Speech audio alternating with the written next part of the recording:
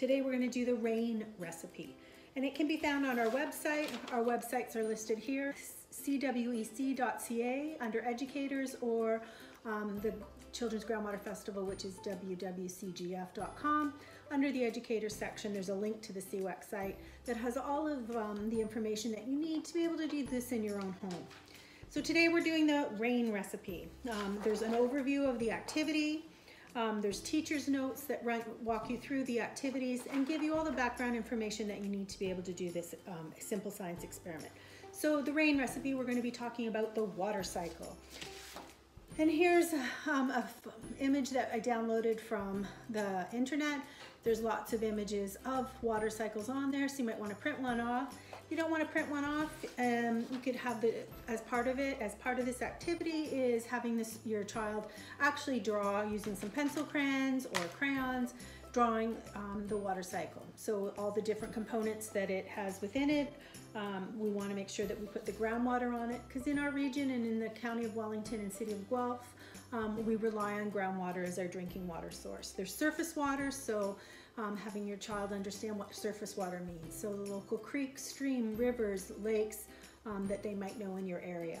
Um, we want to talk about evaporation, condensation, precipitation, and infiltration. So how infiltrates down into the ground. So for our experiment today, we are going to be making it rain. The things that you need in order to do this activity are a kettle, and remember, um, if you need a parent or an adult to be with you, because the kettle gets quite hot. At what temperature does water boil in order to turn into our vapor or our gas? 100 degrees Celsius. On the hottest of summer days, it might reach 30 or above, um, so 100 is so much hotter. So for our simple science experiment, we have our kettle, which we're going to turn on, and this is going to represent our evaporation. So we're speeding up the process with the kettle. Um, the sun um, will heat up and create the same thing over time.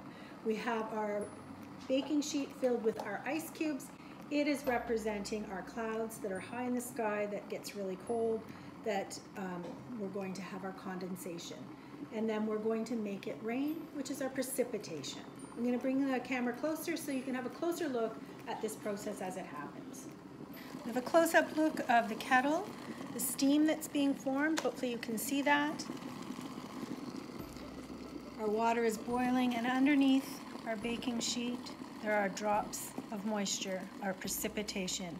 So our ice up top, our kettle with our hot water boiling to create our steam, our vapor, our gas is turning our baking sheet into a cloud with the ice in it that's very cold. So we have very cold and very hot.